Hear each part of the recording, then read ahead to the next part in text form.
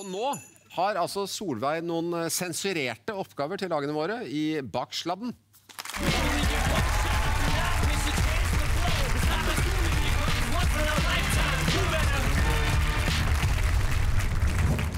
Ja, nå kommer vi som vanlig til å stille en del spørsmål, men eh, det spesielle her er at deltakerne bare får høre deler av spørsmålet. Noen ord er nemlig sladda ut. Tror de at de kan svare på spørsmålet, så trykker de på knappen, og først da får de se hele spørsmålet. Og riktig svar gir poeng, og feil gir poeng til det andre laget.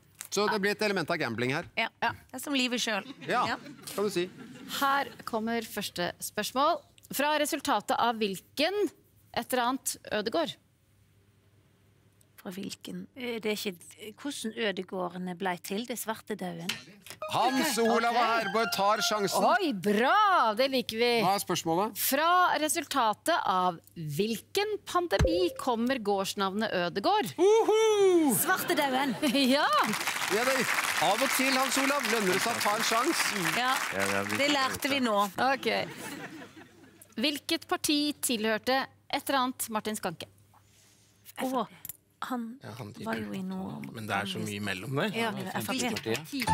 Ja. Ja. Janne og Trond tar sjansen. ja, det er feil, men vi må jo ta en. Vi må Vi tar sjansen. Hva er det dere tror det er?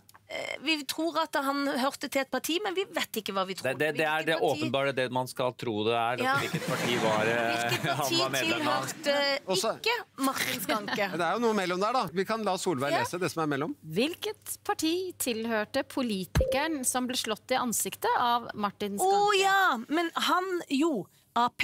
Eh, det var ikke noe miljøparti eller noe sånt? Eh, Nei, men de var ikke så aktive i den perioden. Nei, ok. Ap, da. Ap. Da, hva? Da går dere for Arbeiderpartiet. Det er riktig. Ja, ikke sant? Nå, nå ble du litt glad. 9-6, tre poeng til Else Ok, fortsatt. Nytt spørsmål. Hva har man på føttene hvis man driver med et eller annet? Trond og Janne prøver seg. Mm -hmm. Og spørsmålet er hva har man på føttene hvis man driver med jibbing?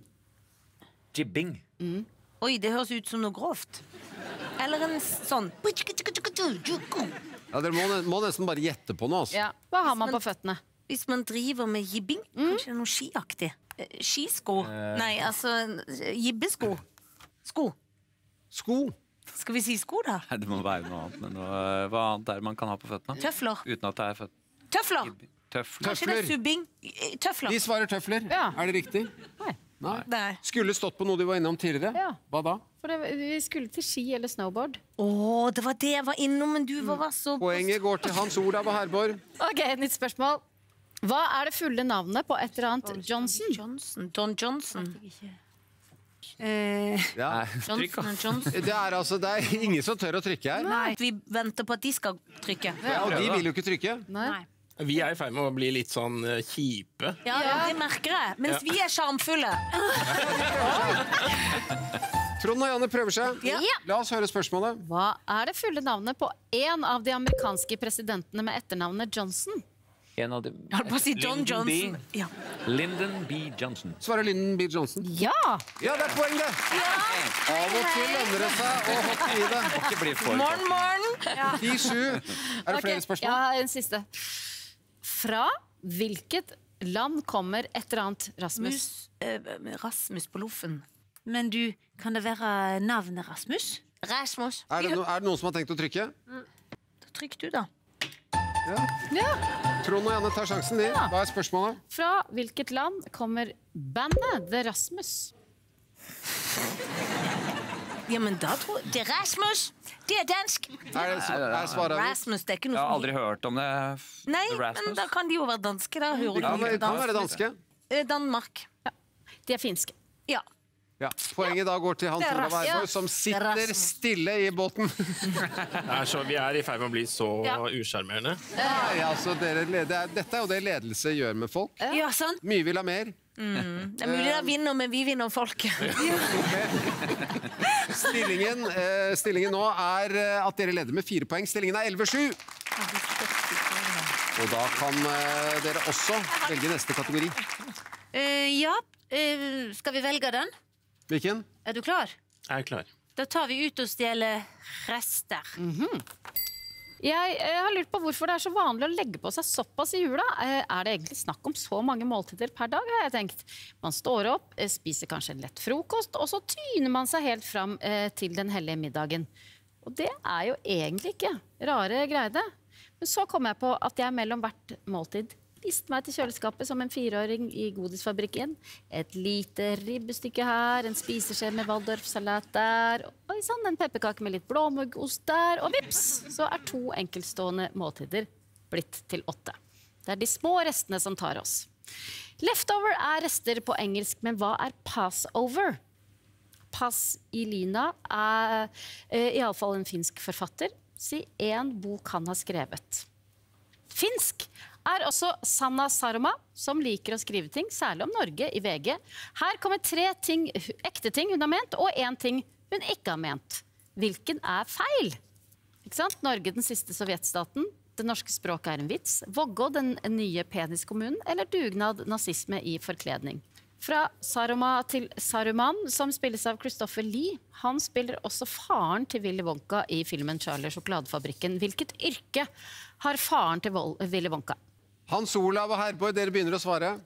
Oi. Ja, kan vi begynne med noe vi kan? Ja, Ja. Altså, Paselina har skrevet uh, boken 'Harens år'. Ok. Holder, Ja. holder med én. Kan vi hoppe på Sanna Saroma? Er du med på det? Ja, ja, jeg er med på det.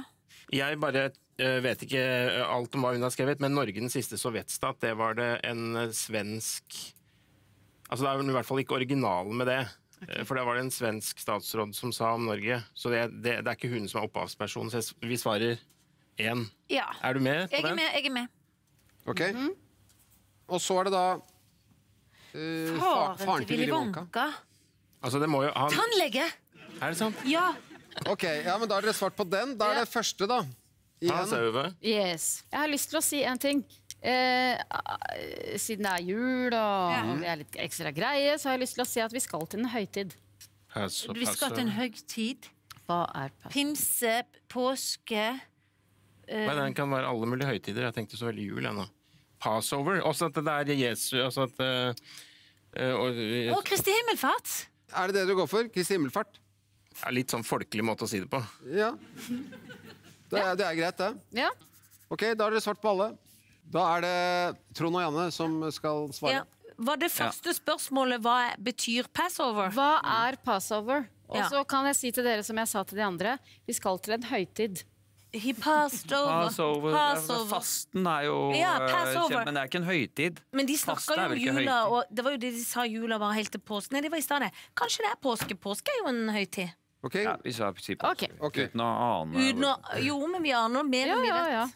Ja. Så er det den finske forfatteren, da. Ja, det var Altså, det var bare et, uh, en tittel som bare dukka opp i huet mitt, som heter 'Kollektivt selvmord'. Eller sånn. Kollektiv, det, det får på sånn bilde av en sånn buss som det er noen som skal finske folk. Ok, eh, Det er vel det eneste Ja. vi har. ok. Og så vil vi gjerne se den, de overskriftene igjen, og høre hva spørsmålet hva det var, Ja. mange det var hver. Det, var, det er tre som er ekte, og én som er falsk. Da Ja, spørsmålet er hvilken er falsk.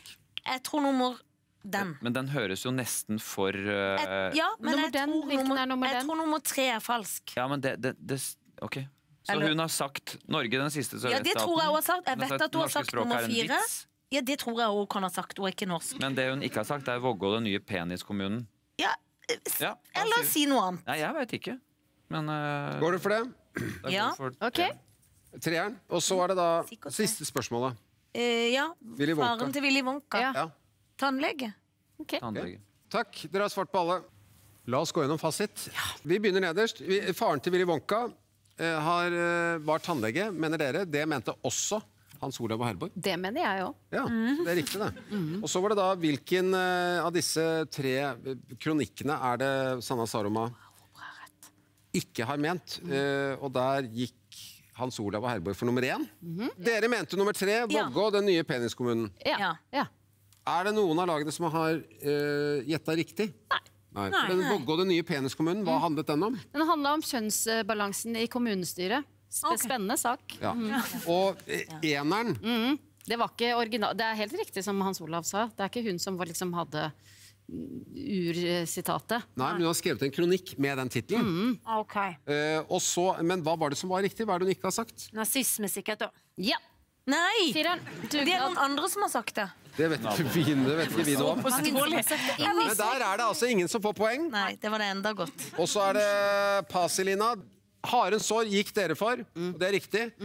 Eh, Janne og Trond gikk for kollektivt selvmord. Hva sier du om det, Hans Olav? Ja, det er også en bok av Pasilina. Å, det var det. Å, bra! Det er poeng til begge lag.